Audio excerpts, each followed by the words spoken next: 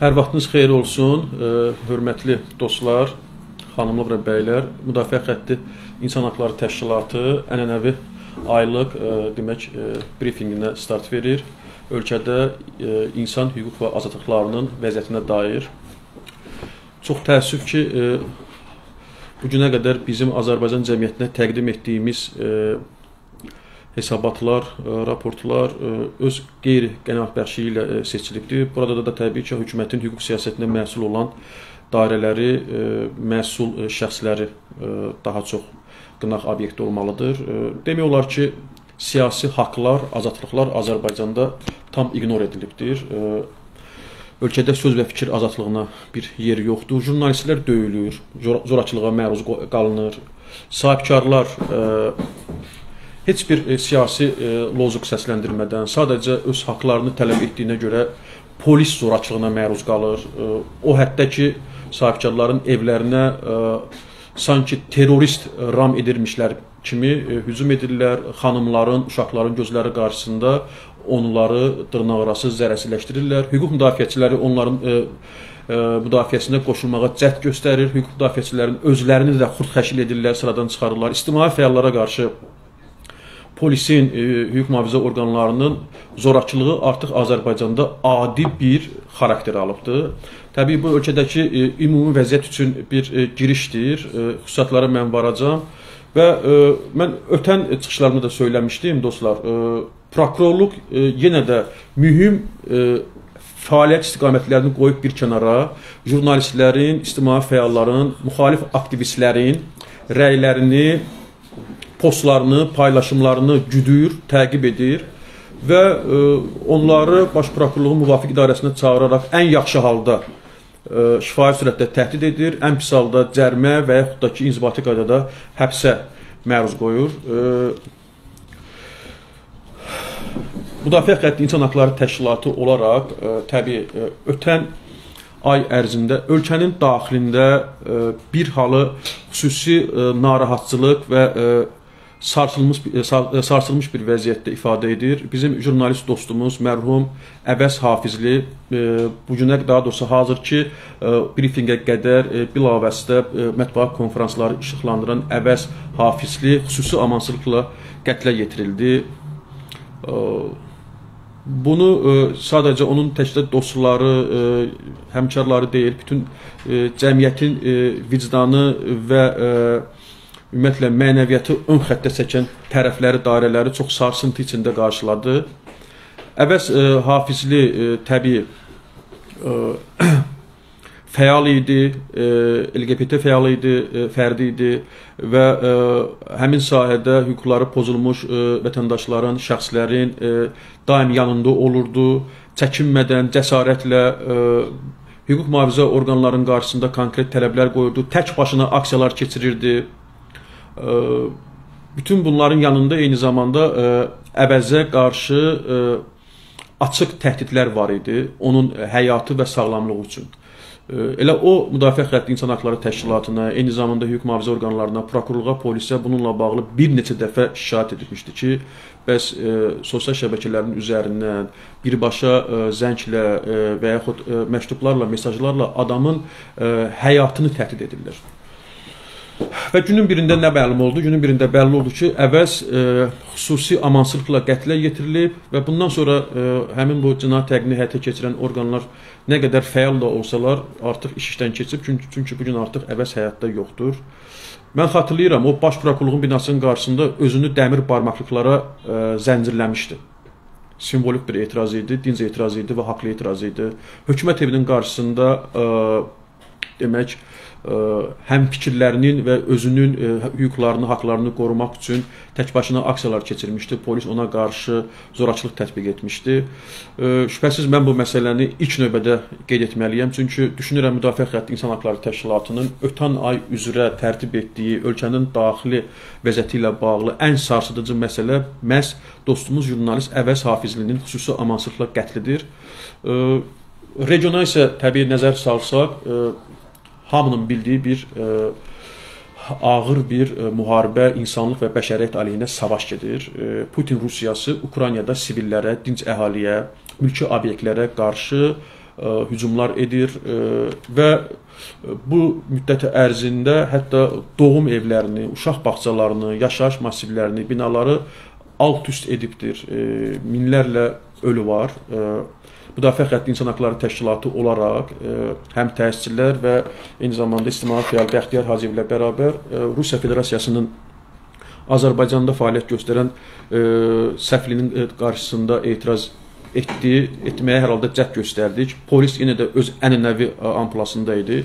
İmkan vermədi ki, səfirliyin inzibati binasının qarşısında özümüzü ifadə edib Putin Rusiyasının 21-ci əsrdə faşizm əlamətlərini tətbiq etməsinə qarşı öz dinc etirazımızı bildirək. Amma hər halda bəyanatımızı səsləndirdik, canlı yayın vasitəsilə ölkə ictimaiyyətinə çatdırıldı. Eyni zamanda hazırda Ukraynada əhaliyə, dinc əhaliyə qarşı aparılan təcavüzkar müharibəyə etiraz əlaməti olaraq dost Ukrayna və Ukrayna xalqının yanında olmaq baxımından Azərbaycanda fəaliyyət göstərən səfirliyin, Ukrayna səfirliyinin qarşısında biz müdafiə xətti olaraq digər vətəndaşlarla bərabər həmrəylik aksiyasını keçirdik.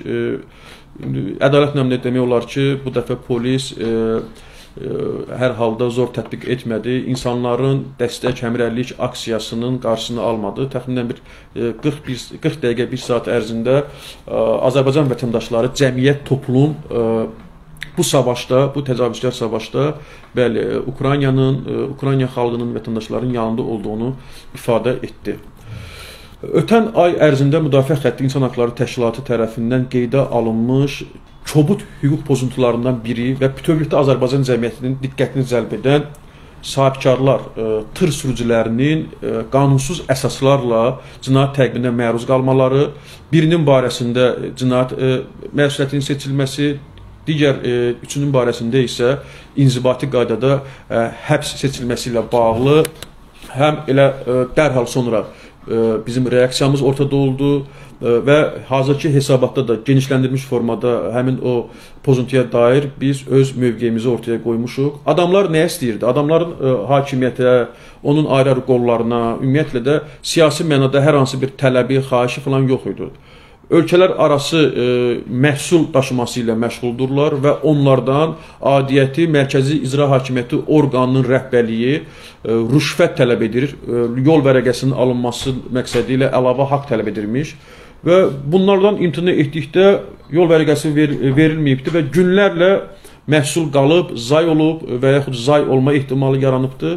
Çox dinc, mən əvvəlki çıxışlarımda da söyləmişəm, kifayət qədər yaradıcı, kreativ bir demək etirazda bulunublar. İstifadə etdikləri tırın üzərində şikayət obyekti olan ə, şəxslərin adları, soyadları, vəzifələri göstərilib və onlardan əl çəkmələri tələb olunub. Buna Azərbaycan ə, hüquq mühafizə orqanları, ümumiyyətlə ə, rəsmi Bakı nə reaksiya verdi? Heç nə. Göndərdilər onlardan birinin evinə, Rəmiş Səfərovun evinə 15-20 polis. Evdə qız gəlini əzişdirdilər. Uşaqların gözünün qarşısında valideynlərini çox pis vəziyyətdə, alçaldılmış formada evdən çıxardılar. Daha sonra müşahidə kameralarını köklü surətdə götürdülər. Geri qayıdıb təsəvvür edin qonşulardakı müşahidə kameralarının olub olmamasını təsbit etməyə çalışdılar. Gördülər ki, yox, qonşularda da var bu müşahidə kameraları. Onlar da götürdülər ki, güya bu zorakılıq, qeyri-insani rəftar yaddaşlardan və s. itiləcək. Nəriman Nurayim deməli polis idarəsinin qarşısına biz həmkarım Zaharla bərabər tələsdik. Bəlli oldu ki, saxlanılan şəxslərdən biri Rəmiş Səfərov orada oradadır. Atası ilə əlaqə saxladıq və orada güya getmişdik ki, tır sürücülərinin hüquqlarının qorunması və yaxud da ki, pozulmuş hüquq pozuntusu ilə bağlı da cəmiyyətə bir məlumatlar verək. Bizim özümüzü kobud sürətdə saxladılar. Zarub, təpik, yumruq, vur, e, e, yerə saldırar, sərdilər gözümün qarşısında. Azərki müddətə qədər də mən ə, e, əminliklə deyirəm, yenə də o xəsarətlərin acısını zavur çəkir. Şərəfimizi və ləyaqətimizi alçaltdılar, təhqir etdilər bizi. Və bu günə qədər də hələ də ə, demək Nərmənov rayon polis idarəsində bununla bağlı adekvat hüquqi qiymətləndirmə ortada yoxdur. Həmin o polis vətənda ə, deməli nəfərlərinin barəsində prokurorluq və yaxud elə Daxili İşlər Nazirliyinin e, müvafiq idarələrində e, ədalətli bir araşdırmanın biz şahidi olmamışıq. Baxmayaraq ki, baxmayaraq ki, elə orada olanda Nazirliyin Mətbuat Xidmətinin rəis, e, rəisi, polis polkovniki Eysan Zaidov şəxsən mənimlə əlaqə saxlayıb bizə qarşı zorakılığı tətbiq edən polis əməkdaşlarının barəsində müvafiq ölçü götürüləcəyinə dair vəd verdi. Ondan sonra e, Bakı şəhər Baş Polis İdarəsinin rəis müavini polis polkovniki Vüqar Ələşbərovla da bizim təmasımız oldu. O da bildirdi ki, bununla bağlı araşdırma gedir, aparılır və ə, e, təbii ki, həmin o qanunazidd əməlləri törədən polis nəfərləri barəsində tədbir görüləcək hazırki ana qədər heç bir e, tədbirdən söhbət edə bilməz. Bu bizdən ötürü əslində təcrübə də deyil, e, yəni açığını söyləyim sizə. Amma e, dostlar, e, biraz da e, məsələnin başqa bir ağrıcı tərəfi var. Həmin bu sahibkarların, tır sürücülərinin hüquqlarını biz müdafiə etmək üçün ailə üzvləri ilə, vəkilləri ilə, yaxınları ilə bu hadisədən sonra e, heç cür e, kontakt qura bilmədik, telefon zənglərimizə və s. E, cavab vermədilər. Bu da görünür ondan irəli gəlmişdi ki, e, hakimiyyət dairələri cəmaatı əsassız surətdə e, inzibati və cinayət təqibinə məruz qoymaları, evlərində vəhşilik və zorakılıq həyata keçirmələri azlıq edirmiş kimi onların hüquq hüquqlarını müdafiə eləməyi də çox bilir və onlara Allah bilir hansı hə, təhdidlər və hədələr gəliblər ki, Ondan sonra mənim və yaxud digər dostlarımızın e, e, zənglərinə cavab vermədi. Ümumiyyətlə bizimlə ünsiyyətdən uzaq oldular. E, indiki halda isə təbii onların davranışına biz hörmətlə yanaşdıq. E, qeyri-könüllü surətdə biz insanlarla ünsiyyətə ünsiyyətə daxil olub onların hüquqlarını hifz edə, e, hifz e, edə bilmərik. Demək, e, jurnalistlərin e, zorakılıq e, zorakılığa qalması ilə bağlı mən brifinqin girişində göstərdim. Azadlıq qəzetinin əməkdaşı Fatimə Mövlamlı e, müstəqil jurnalist Sevin Sadıqova və Kanal 13 internet televiziyasının əməkdaşı e, demək e, dostumuzun Teymur Kərimov prezident administrasiyasının qarşısında e, daxil olmuş şikayət üzrə ə, vətəndaşların aksiyasını işıqlandırarkən polisin yenə də zorakılığına məruz qalıb. Ə, Fatimə xanım və Sevin Sadıqova saxlanılıb bölməyə aparılıb. Onlar orada döyülüb, söyülüb, təhqir edilib. Yəni Bu bir daha onu göstərir ki, bəli, e, bu ölkədə hüquq mühafizə orqanları indiki halda isə elə polisin özü e, siyasi hakimiyyətin əlində bir repressiv e, alətdir, vasitədir. E, yəni adi vətəndaşdan tutmuş siyasi və fəala qədər, jurnalistdən tutmuş e, müxalifət liderinə qədər heç bir fərq qoymadan insanlara qarşı sadəcə olaraq zorakılıq göz önündədir. Amma yenə də ədalət naminə qeyd eləməliyəm ki, Nəticə etibarilə deməli Daxili İşlər Nazirliyinin e, mətbuat xidmətinin sözçüsü, şöbə rəisi polis mayoru Elşad Hacıyev bu hadisədən dərhal sonra media məlumat verdi ki, e, jurnalistlərə qarşı Fatimə xanıma Sevin Sadıqovaya qarşı göstərilmiş e, zorakılıqla bağlı polis əməkdaşları barəsində son dərəcə ciddi tədbir görüləcək. Sonradan ə, rəsmən elan etdilər ki, həmin şəxslər ə, demək ə, tutduqları vəzifələrdən ə, götürülüblər. Bildiyim qədərilə Fatimə xanım ə, e, hətta ə, e, deməli ə, e, müvafiq əmrlə ə, tanış olmaq istəyibdi. Birinci cəhddə alınmayıb, amma sonradan səhvləmirəmsə onu tanış ediblər. Ə, bunu bilmirəm indi irəliyə doğru atılan addım kimi qiymətləndirək yoxsa necə, amma hər halda fakt ortadadır. Adamlar ə, jurnalistlər sadəcə, jurnalistlər hakimiyyətin nəzarəti altında olmayan dairələr döyülür, söyülür, zorakılığa məruz qoyulur Daha sonra isə həmin bu zorakılığı həyata keçirən şəxslər, polis nəfərləri e, vəzifədən e, uzaqlaşdırılır. Hər halda bunun adını bəlkə də mən e, irəliyə atılmış addım kimi qiymətləndirsəm çox optimist səslənər. İctimai fəal, əziz dostlar, demək Fuad İsmayılovun apellyasiya məhkəməsini biz diqqətdə saxladıq. Fuad İsmailov bilirsiniz, Türkiyə Cümhuriyyətinin bayrağına qarşı müəyyən hörmətsiz bir təz ortaya qoyduğuna görə demək polis tərəfindən saxlanılmışdı. Polis həmin zaman düşmüş düşmüşdü artıq o, belə deyək də pat vəziyyətinə. Adamın əməlində nə inzibati tərkib var, nə də ki cinayət tərkibi var. İndi bunu cəzalandırmaq istəyirlər. Nə etsinlər?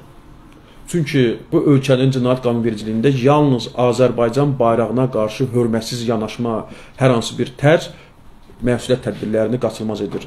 Başqa ölkələrin eyni zamanda qardaş Türkiyə Cümhuriyyətinin bayrağına qarşı bu münasibət təbii mənəvi cəhətdən qınanmalıdır, amma ortada bir hüquq adına bir təqib yoxdur. Adamı güya polisə müqavimət adı altında saxladılar. Fuadın qulağını sındırıblar, döyüblər. Bu onun neçənci artıq inzibati qaydada həbsidir. Bəlkə də 4-dür, 5-dir, artıq mən sayı itirmişəm. Apellyasiya məhkəməsində hakimin nəzər, nəzərinə çatdırdı ki, təkrar ekspertiza keçirilsin. Mənim bədənimdə xəsarət var, xəsarət izləri var, qulağımı sındırıblar. Hakim isə təbii ki, ignor etdi və Fuad hələ də e, həbsdədir. İndi bilirsiniz necədir? E, biz e, müdafiə xətti olaraq cəmiyyətdə demokratik dəyərləri təşviq edən bir təşkilatıq, insan hüquqları təşkilatıyıq. Fuadın da müəyyən bir ideoloji dəyərləri var. O dəyərlərə ə, təbii ə, hörmət edək. Eyni zamanda ə, razılaşmırıqsa qınayaq. Amma daha belə bir vəhşilik və zorakılığı ortaya qoymaq qanuna ziddir və ə, düşünürəm ki, həm ə, qüvvədə olan qanunvericilik, konstitusiya eyni zamanda beynəlxalq konvensiyalarla, xüsusilə ə, e, Avropa konvensiyası ilə bir araya sığmır. Demək, ə, e, doğrudur, ə, e, fevral ayı üzrə olmasa da ə, ötən gün bizi narahat edən məqamlardan birinə diqqət eləmək istəyirəm. Demokratiya 18 hərəkatının fəalları Əhməd Məmmədlinin rəhbəri olduğu D18 ə, polisin mən gözləyirdim, hakimiyyətin ə, neqativ anlamda diqqətini cəlb eləyib. Ə, gənclər ə, təşkilatlanır və onların yaşı kifayət qədər azdır. Onlar tələbədirlər və yaxud da ki olsun ki 20-25 arası belə gənclərdir və hakimiyyətə qarşı çox ciddi, qorxmaz və sistemli surətdə etirazlar edirlər və bu öz dinçiliyi ilə fərqlənir. Təşviq etdiyi dəyərlər sol ideologiyadır. Yenə də hörmətə layiqdir. Burada bir qanun halı yoxdur. Bir ay bəs etdi ki, hakimiyyət, polis Demokratiya 18 hərəkatının kirayələdiyi daşınmaz əmlaka, yəni deməli mülkə müdaxilə etsin. Dünən mən baxdım Əhməd bəyin narahatçılığı barədə məlumatlı oldum. Sosial şəbəkə üzərindən yayılmışdı. Polis gəlib daxil olubdu. Ortada heç bir sənəd yoxdur, məhkəmə qərarı yoxdur və s adamların mülkiyyətində axtarış aparırmış. Təbii indi o mülkün sahibi kimdirsə, bu və ya digər metodlarla ona qarşı hədələr gəlinəcək və nəticədə də bəlli olacaq ki, Demokratiya 18 gənclər həmin o deməli ofisdən çıxsın. Necə ki çıxacaq. Artıq Əhməd bəy bildiribdi ki, adamlara qarşı bizim üzərimizdən hakimiyyətin repressiv tədbirlərinə rəvac verməyəcəyik. Müdafiə xətti insan hüquqları təşkilatı olaraq bununla bağlı deməli e, hesabatda mütləq ə, e, ayrıca bir ə, e, bölmə şəklində toxunacağıq mart ayı üzrə və ə, təmasda olduğumuz ə, beynəlxalq təşkilatlar eyni zamanda xarici ölkələrin azadlığında fəaliyyət göstərən diplomatik korpusu ilə bunu Azərbaycanda yeriyən, davam edən növbəti repressiv tədbir kimi qiymətləndirəcəyik. Olsun ki, ə, bu gün ərzində bununla bağlı müdafiə xəttinin ayrıca bir bəyanatı da olacaq. Ə, və dünən dostlar, ə, mənə təsəvvür edin ki, 3 zəng gəlib haradan? Rusiya Federasiyasının e, Federasiyasından e, neytral zonaya buraxılan Azərbaycan sərhədçilərinin isə qəbul etmədiyi yüzlərlə vətəndaşlarımızdan bir neçəsi zəng edib. Onların arasında xərçəng xəstəsi də var. Onların arasında ağır xəstələr də var. Günlərdir adamlar avtomobilin içində ya da ki, çol dibində, küçənin küçə də deyil, daha doğrusu ağacın dibində, torpağın üzərində yatırlar, qalıblar. Azərbaycan hakimiyyəti öz vətəndaşlarının qeydinə qalmır. Hansısa əmdrabadi, anlaşılmaz əsaslar ortaya gətirir ki, hələ ki qəbul etmirik. Bilmirəm, Covid-19-dur, pandemiyadır və s. Yaxşı, bu vətəndaşlar nə etməlidir? Nə etməlidir? Mən açıq deyəcəm, tam səmimi söyləyirəm. Yəni bunu pafos, e, yəni belə deyək də bir e, bəlağət kimi qəbul eləməyin. Səhv eləmirəmsə 2000-ə yaxın orada vətəndaş saxlanılır da, düzdürmü? Rusiya Federasiyasından adamlar öz vətənlərinə dönmək istəyirlər. Rusiyadakı hazırda sosial, iqtisadi, hərbi, siyasi durum nə yerdədir, onu şərhləmək istəmirəm. İndi günün birində həmin o vətəndaşlar rəsmən Nikol Paşinyana müraciət eləsələr ki, simvolik olaraq Məni qəbul edin, mənim öz vətənimi məni qəbul edin. Məni qəbul edin, gəlmə Ermənistana. Onda Azərbaycan hökuməti nə cavab verəcək? Bu adamların çıxış yolu nədir? Nə etsinlər? Hara getsinlər? Harada bunları qəbul etməlidirlər? Azərbaycan dövləti, hökuməti, adiyyəti strukturlar bunları qəbul etməkdən imtina edir. Nə etsinlər? Biz gözləyək, gözləyək ki, adamlar naçar Rusiya bunu qəbul etmir. Neytral ona da qalıblar. Bunlar canlı yayım açsınlar və etiraz etsinlər ki, Nikol Paşinyan bizi xahiş edirəm Ermənistana qəbul edin. Onda hökumət Bax bu gün e, ignor edən, etinasız yanaşan mərkəzi icra hakimiyyəti orqanları hansı reaksiya ver verəcəklər? Deyəcək vətən xainidirlər, xalq düşmənidirlər və s. Bəs vətəndaşına sahib çıx da. Çıx da vətəndaşına sahib. Və ə, ə, demək mən bir məsələni də ə, xatırladım. Ə, Müdafiə xətti İnsan Hüquqları Təşkilatının həm təsisi ilə hazırda ə, brifikdə iştirak edən Təzəxan Mirələmli də ə, mart ayı ərzində öz peşə vəzifəsini həyata keçirərkən yenə də polisin ə, indi yəqin ki daxili işlər orqanlarının əməkdaşları baxır və yaxud da ki baxacaqlar. Fikir verirsinizsə bizim bu brifinq əvvəldən indiki hala qədər demək olar ki, polisin, daxili işlər orqanlarının ə, qanunazidd əməllərin üzərində qurulubdur. Bu da bizdən asılı deyil. Faktların dili ilə danışırıq. Ortada soyuq faktlar var. Bu qanunazidd hüquqla bir araya gəlməyən halları, faktları ortaya qoymayın ki, biz də bu faktların dili ilə sizlə danışmayaq. Təzəxan bəy saxlayıblar bir neçə saat ərzində Abşeron polisində saxladıqdan sonra buraxıblar. Tələb ediblər ki, bəs vətəndaşın şikayəti üzrə ə, işıqlandırdığın videolar silinməlidir. Bəxtiyar Hacıyev ictimai fəal bizim dostumuz demək ə, e, neçə gündür ki biz elə hər fürsətdə bu məsələyə diqqət edirik. Hazırki brifikdə də ə, e, ayrıca mən ə, e, toxunmaq istəyirəm. Uzun müddətdir ki, ə, Bəxtiyar bəy ə, prokurorluğa, Daxili İşlər Nazirliyinə pozulmuş hüquqları ilə bağlı olaraq ərizə, şikayət ə, təqdim edir. Yəni vətəndaşların müraciətlərinə baxılması haqqında qanuna uyğun olaraq Bəxtiyar bəyin tam haqqıdır ki, ərizə və şikayətlə pozulmuş hüquqları ilə bağlı müraciət eləsin. Bir neçə dəfə sayı hesabı olmayan hətta ə, e, bəyi çağırıblar, dindiriblər, nəticə yoxdur. Demək, ə, e, şərəfin və ləyaqətini təhqir elətdirirlər. Ayrı-ayrı sosial şəbəkələrdə, platformalarda. Məhkəmələr bu məsələyə etinasız yanaşır. Polis, prokurorluq diqqətə almır. Ə, e, nəhayət, nəhayət ə, çıxılmaz vəziyyətdə qalır, baş verənlərə etiraz rəmzi olaraq prezident administrasiyasının qarşısına gedir, özü ilə bərabər yanacaq benzin götürür, intihara cəhd edir, özünü yandırmaq istəyir ki, tamam, cəmiyyətin, xüsusilə də Azərbaycan hakimiyyətinin bəlkə indiki halda diqqətini cəlb edə bilər. Zorakılıq göstərirlər, prezident administrasiyasının yaxınlığındakı mühafizə xidməti və polis Bəxtiyar bəy zorakılıq göstərir. Həmin dövrdə ə, e, Bakı şəhər Baş Polis İdarəsinin rəhbərliyi Bəxtiyar Hacıyevə vəd verir ki, ən qısa zamanda qaldırdığı məsələlərlə bağlı olaraq obyektiv, tam və hərtərəfli araşdırma realizə ediləcək. Gözlənilir. Heç bir nəticə olmadıqda Bəxtiyar Hacıyev bir neçə dəfə sosial şəbəkə üzərindən yenə də narahat edici e, belə deyək də postlar paylaşır və tələblərini ortaya qoyur. Nəticə olmur yenidən ə, demək avtomobil vasitəsilə Daxili İşlər Nazirliyinin inzibati binasına yaxınlaşır. Heç bir şüar səsləndirmir, şifahi və s. avtomobilinin öz mülkiyyətinin daxilində oturur. Şüşənin içində qeyd edir. Şüşə yapışdırır ki, vilayət evazı. Cinayətkarları ə, deməli qoruma, mühafizə etmə. Yəni qanuna uyğundur, konstitusiyaya tam müvafiqdir və Azərbaycanın tərəfdaş çıxdığı və qoşulduğu beynəlxalq sənədlərə, konvensiyalara tam uyğundur. Burada bir ziddiyyət yoxdur. Cavab nə olur?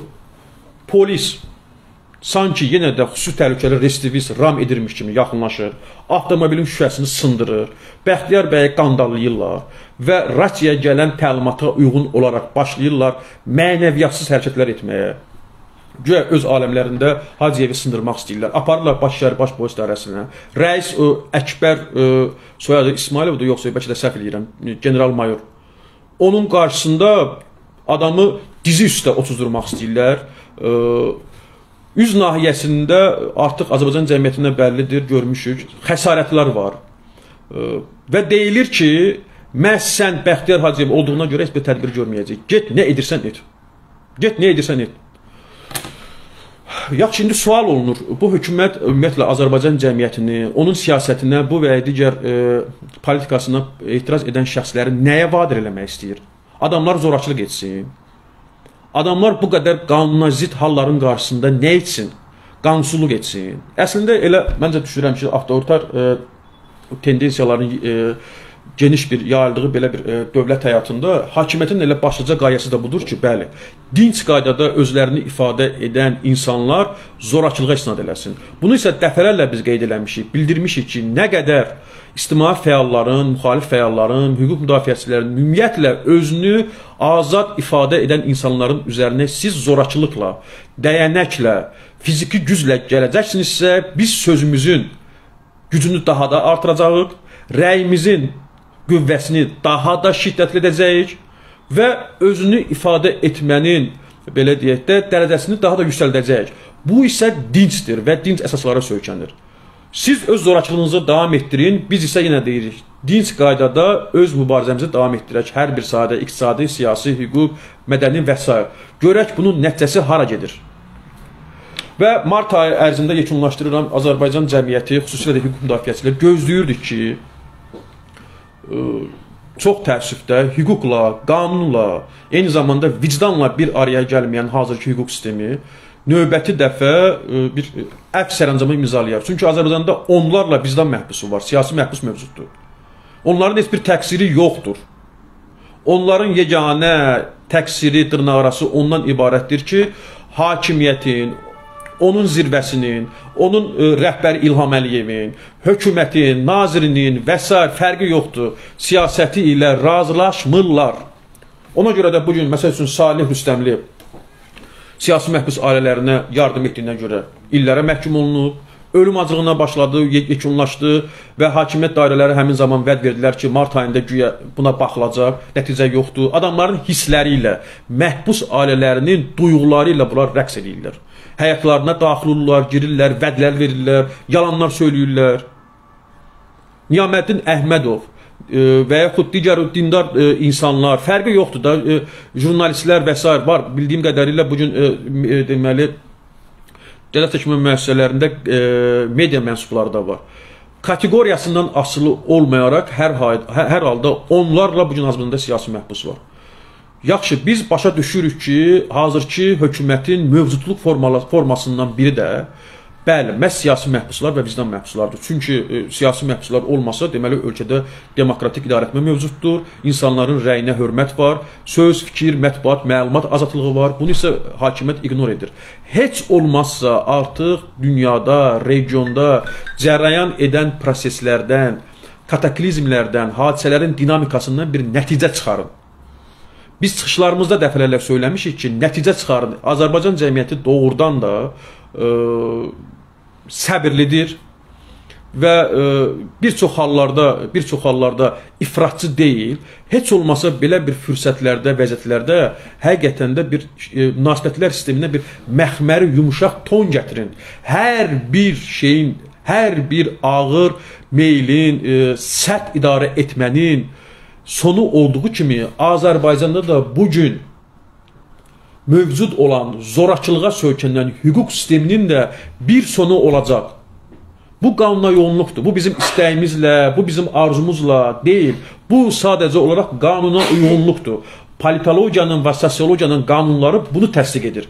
Heç olmasa insanlara yenə deyirəm, müəyyən fürsət fürsətlərdə ə, biraz ə, siyasətinizdə, yürütdüyünüz ə, politikada dəyişiklik edin ki Bunu təhdid kimi, xəbərdarlıq kimi qeyd eləməyin. Zaman gələ bilər. Zaman gələ bilər, bəli.